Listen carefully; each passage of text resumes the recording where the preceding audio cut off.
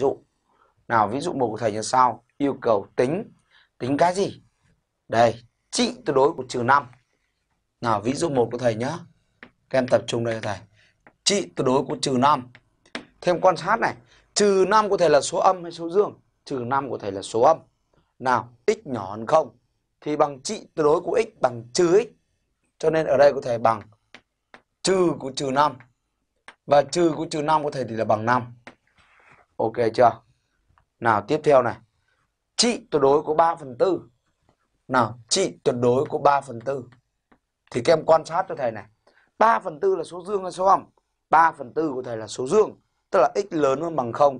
Thì trị tuyệt đối của x của thầy bằng x. Tức là trị tuyệt đối 3 phần 4 của thầy và thầy để nguyên là 3 phần 4. Tiếp theo này. Trừ của trị tuyệt đối của trừ 5 phần 4. Đây thầy có trừ của trị tuyệt đối của trừ 5,4. Ok chưa? Thế đầu tiên các em đừng quan sát đến dấu trừ này vội, chúng ta vẫn để nguyên dấu trừ.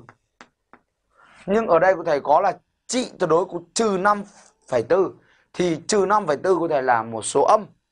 Cho nên trị tuyệt đối của x của thầy bằng trừ x. Và đây cụ thể bằng trừ, của thầy đây là bằng trừ của trừ 5 phần 4,4. Đúng chưa? Và nếu trừ trừ là thành thành cộng, tức là bằng trừ 5,4.